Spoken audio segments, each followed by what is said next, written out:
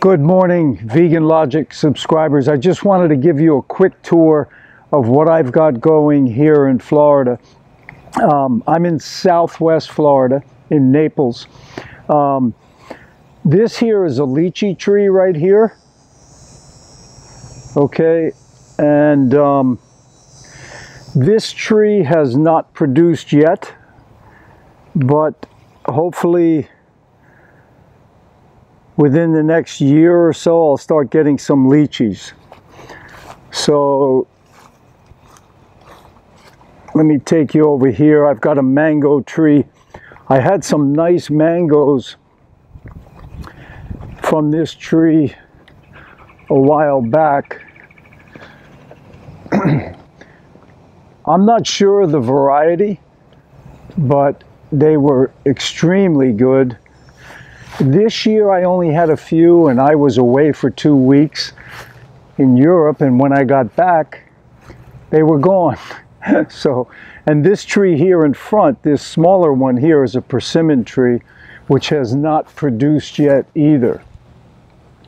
So that mango tree is good and I've got another one here, this mango tree which has not produced at all. Now I'm going to head towards the backyard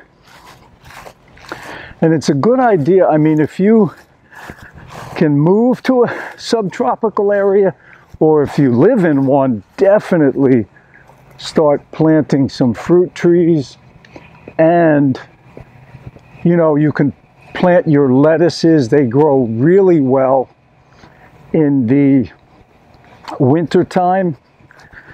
I still have a little Chinese cabbage left that I'll show you. This tree here, this little tree here is a lemon tree. And you can see I've got some lemons on it. You can see here those lemons, so I'm looking forward to those. I've got an avocado tree here, which I haven't had a lot of success with yet, but it did flower. But then Irma messed things up with that. This here is a Meyers lemon tree right here. And I've got some lemons on it. You can see the lemons, they're looking good. And this is my favorite tree right now because the mangoes are happening. And there goes a squirrel running away. He was trying to get them, but this tree is actually loaded with them. So I'm hoping and these mangoes here, these are called Nam Duck mangoes from the Philippines. And the flesh on these things is unbelievable. It's like the best peach you've ever had. Um, there's no, you know, fiber and whatnot. And there goes a squirrel running away with one of my mangoes I figure, hey, we can share. He's having a ball. I've got good mangoes. and um, here, these are champagne mangoes or Ataulfo mangoes. I don't have a ton of them on the tree. There's not a lot, but these also. The flesh is fantastic, really good. And um,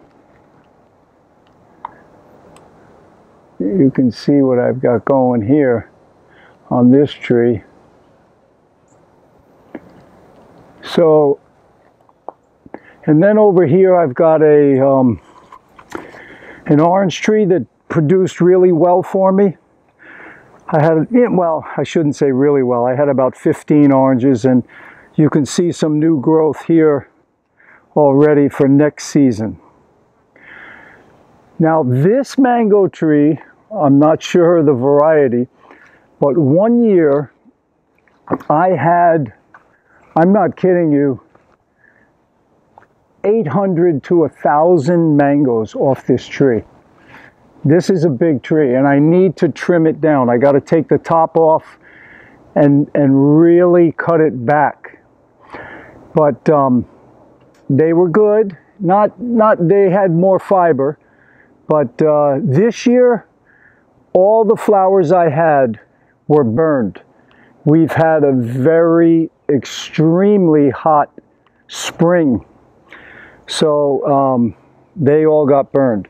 But I still got some from the other two trees that I'm looking forward to. Now I'm going to head out to the backyard and show you what I've got going there. Here I've got a moringa tree that's doing okay. I've got some pineapples. This baby's happy right here.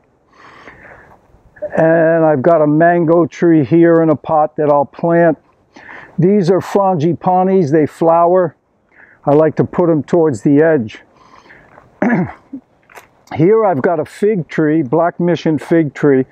Um, and I planted it over here kind of in the shade because these, the sun, again, here in Florida can really tear them up. Okay, maybe some of you don't know I teach tennis for a living. Here's the tennis court here. And, um,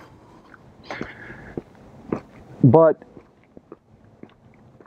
you know, I'm 70 years old now, and I'll tell you, being vegan has helped me tremendously. I don't, I don't know if I'd still be doing it. This here is a Mamey sapote tree. Very tasty fruit, high in uh, B vitamins. And here I've got a mango that's doing well.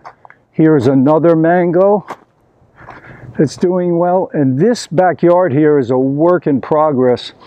As you can see, um, here's another Mamey sapote here. It's doing well, very happy. I've got drip lines, but right now I have them pulled back because I'm trying, this is a uh, sapodilla tree, another sapodilla tree there. The one further down there that is a guava, this one over here. Now here, I've got sugar apple. That's a sugar apple tree. Here is another sugar apple tree. And then back here, I've got another mamey tree. I really like mamey, so I'm hoping that these trees will do well and I've got to learn more about fertilizing. But right now, the biggest thing I've got to do is get these weeds out of here and get more tree mulch, more chips, because that's going to help keeping those weeds down. Here, this is a um, avocado tree. Here I've got a nice mango that's doing well. And then over here, another one.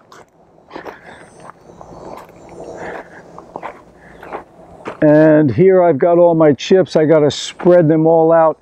I want to get these weeds down before the summer rains really kick in.